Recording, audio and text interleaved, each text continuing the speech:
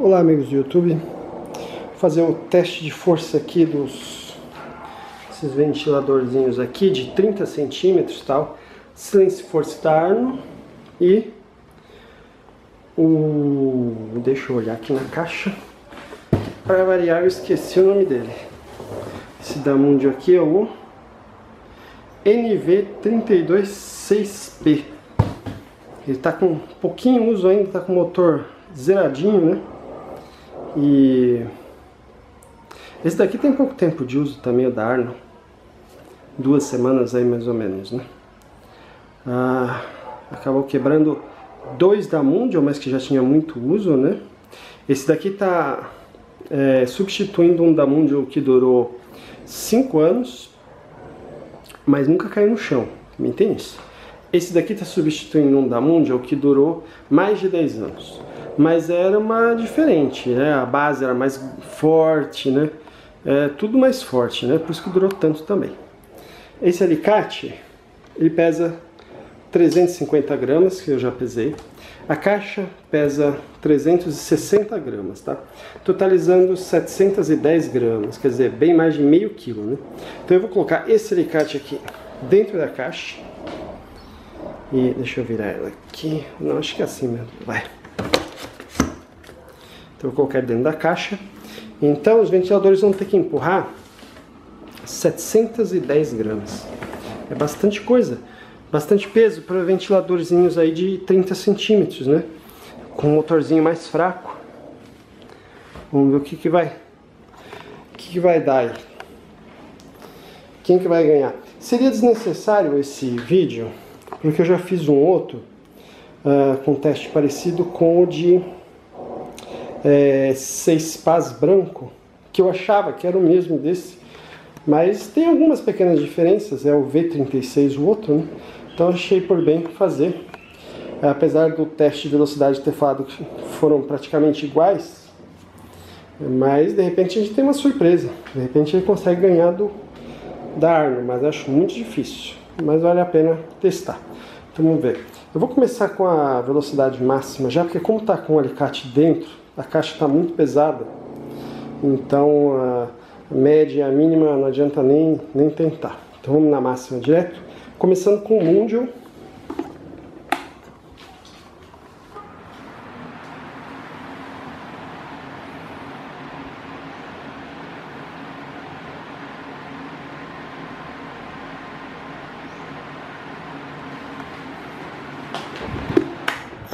Olha, aí pouquinho, mas andou, tá? Ah, já é alguma coisa, já que são 710 gramas dentro dessa caixa. Não é pouquinho não. Você veja que os ventiladores estão com um ângulo bem próximo, bem aproximado, né? Não pode ficar um com ângulos diferentes, aí um para cima, outro para baixo, que não dá certo. Deixa eu alinhar direitinho aqui. Vamos ver se vai.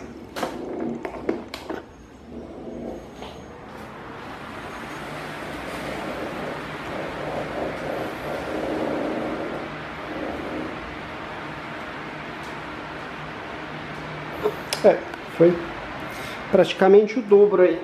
Mas eu vou fazer de novo o teste, porque às vezes fica fora de ângulo a caixa. Agora eu vou empurrar a caixa um pouquinho mais para lá, já que ela abriu desse lado. Vamos ver aqui então. Esse daqui já sai com uma pequena vantagem porque ele gruda aqui, né? Então vamos lá.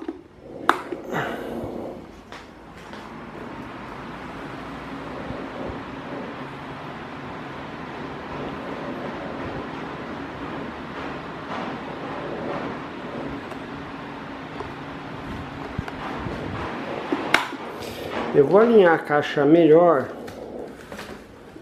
para cá um pouquinho, vamos ver se agora a caixa sai mais retinha. Vai ter mais retinho um pouquinho.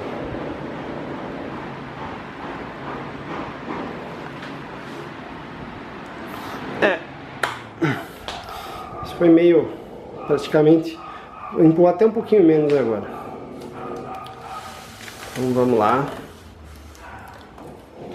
Aqui. Vamos ver se agora vai. Se a caixa vai retinha. Deixa eu tirar um fio aqui que tá atrapalhando. A caixa tem que ir retinha. Vamos ver.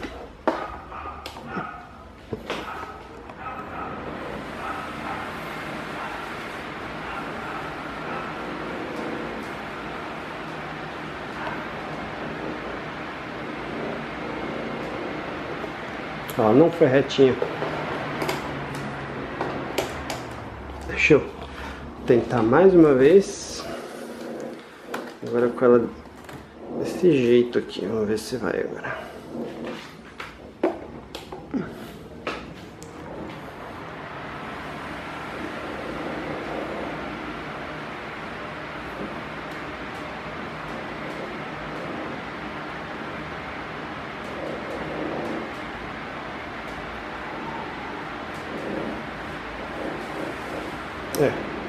Não é facinho não.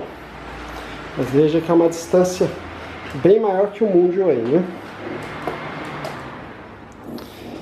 Foi praticamente o dobro do Mundial de novo. Foi consistente. Eu vou tirar o... colocar um alicate mais leve para ver aí.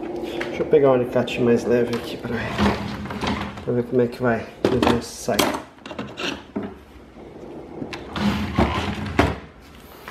De repente dá, dá pra melhorar esse teste aí com alicate mais leve. Agora vai mais longe, porque tá com alicate mais leve. Deve estar tá agora com 400 gramas só, tá? Menos de meio quilo.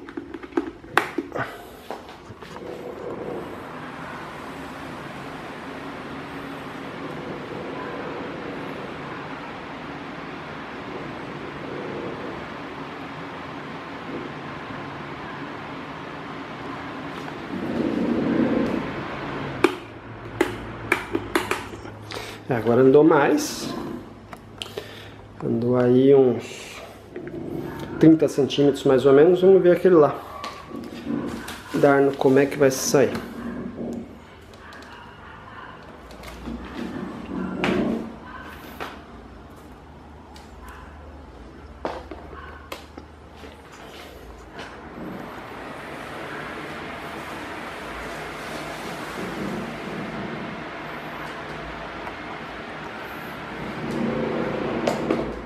É, bem mais, né? Que já era esperado. Vou fazer de novo, última vez.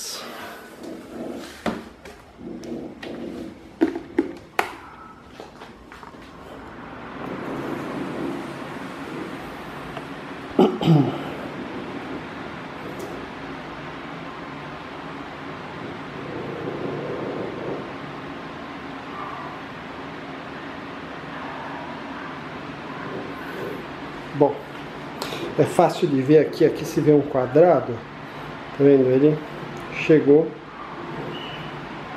quase ao final do quadrado. Aí vamos ver o outro. Ah, parece que o da Arno tá para frente, mas não tá não, tá? Ele tá alinhadinho aqui. Na verdade esse daqui, o da Mundial tá um pouquinho para frente. Deixa eu desligar. É que o da Arno, a base dele é saltada para frente aí, né? Mas na verdade o da Mundial está um pouquinho para frente e ainda está com um pouquinho de vantagem. Então ele andou aí uns 40 centímetros dessa vez, né? Mais ou menos. Mas vai dar para ver pelos quadradinhos. Agora vamos ver esse daqui. Como é que ele vai sair.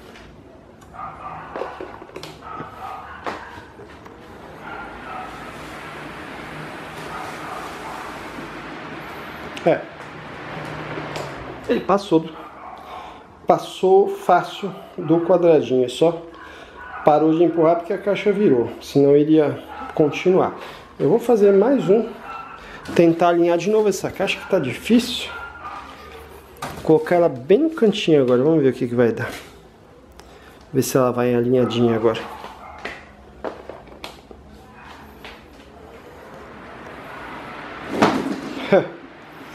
Ai, ai, ai. É. Ele não gostou da caixa. Tombou a caixa. difícil assim. Última vez. Vou tentar de novo aqui.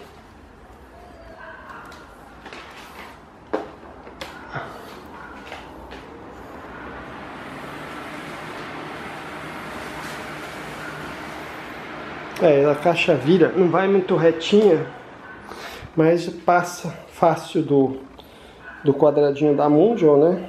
Sendo consistente com o teste de... É, o teste do aparelhinho de velocidade, o anemômetro, né? Então é, é mais uma prova aí que o da o da Arnold de 30 centímetros é bem mais forte que o da Mundial de 30 centímetros modelo NV32 6P e também é mais forte, tem um outro teste que foi feito, com o modelo V36 que tem 6 passes também. Né? Bom amigos, então espero que o teste seja útil. Ah, o da Mundial é mais barato, é uma opção, desde que não caia no chão. Ele vai ter uma durabilidade menor que o da Arno.